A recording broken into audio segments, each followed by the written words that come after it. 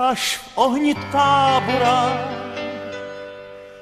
zrudne tvůj vlás, až houslí tesklí ozve se hlas.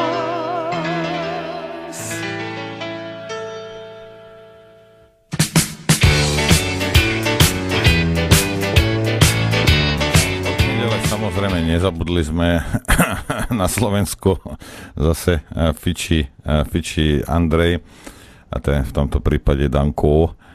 A, a tak si vypočujeme, čo, čo v nedelu zase, eh, zase vypotil a povieme si k tomu niečo. Ja som legálne titul dostal, legálne ho užívam a na mňa nejaká cigánočka uh, z Osasky si nebude dovolovať, lebo už toho mám plné zuby. Ale to potvrdí. No, tak neviem prečo sa v tom našla pani Nikolsonová v tomto výraze. Možno uh, Danko mal na mysli toho Mazurekového Dunča, čo tam uh, v parlamente občas sedí. A neviem, prečo zrovna Nikolsonová sa v tom našla, ale čo bolo, čo bolo naozaj zaujímavé, bolo, počúvajte toto, reakcia Sasky. Predseda parlamentu Andrej Danko dnes to v nedelu sa hneď vyjadrili v relácii teatri nazval podpredsedníčku parlamentu v zjavne handlivom kontexte cigánočka. Tým sa podľa nášho názoru dopustil trestného činu hanobenia národa, rasy a presvedčenia a dávame jeho výrok do pozornosti prokuratúre. Andrej Danko urazil Luciu Ďuriš Nikolsonovu nielen ako političku, ale ako ženu a matku, čím sa zdiskreditoval ako človek aj ako politik. Píše sa v reakcii SAS, ktorú pre hospodárske noviny poslal hovorca Robert Buček. No a toto ma celkom zarazilo, lebo takéto vyhlásenie by e, bolo hodné holohlavého ultrapravicového fašistu aj, a nie je liberálnej strany. A prečo cigánočka je urážka? V akom zmysle? Ako, ja to nechápem, lebo oni ja som, ja som myslel, že oni, oni teda ochraňujú menšiny a a potom druhá vec je, že podľa ich názoru sa dopustil trestného činu hanobenia národa, rasy a presvedčenia. Toto by sedelo, keby sa ozvali cigáni, že Danko nazval túto osobu cigánočka. Tak potom áno, že by to teda vytočilo a urazilo cigán. Ja keby som bol cigán, tak by ma to urazilo, ako to ti vravím na rovinu. Hej. No ale prečo? Ešte šťastie, že nie si, lebo podal by si trestné oznámenie. No hneď by som podal trestné oznámenie, lebo nejak, vieš, ako, no, bohužiaľ. Čo urážajú naše etnikum ano. takouto tak osobou. To etnikum má plné právo sa urážať. Neviem, prečo sa uráža. Tam, poprvé, neviem, prečo sa v tom našla. To nechápem, lebo vravím, Dunčo má k tomu oveľa bližšie aj, aj, aj všeobecne. Myslím teda, a myslím teda tým, tým slovom. A po druhé, však ako môže liberál povedať, keď ho nazveš nejakou menšinou, aj, keď neprávom, ako ho to môže uraziť? Mal by byť hrdý na to ten liberál, nie? Že pozrite sa, aha. Veď, veď, veď, aha, veď pozri sa, veď, veď ja som, veď, no tak tie menšiny treba chrániť a to je fajn, však oni ich vyzdvihujú do nebes, tie menšiny. Tak prečo je to zrazu pre nich urážka? Prečo je slovo cigánočka pre vás urážka, vy liberálni fašisti. To tam mi vysvetlite. Ako to môže byť pre vás urážka? Prečo by musela byť urážka, keby ja neviem čo, keby ťa nazvali ja neviem, skinhead, hej, no tak to by mohla byť pre teba urážka, ale keď ťa nazvú, nazvú cigánočka, prečo? Tak, tieto dve veci neviem. Prečo ich to uráža, takéto slovo a, a teda zjavne, ako to napísali, hanlivom kontexte. A prečo sa v tom ona našla? Z akého dôvodu? Mňa tam zaražajú dve záležitosti.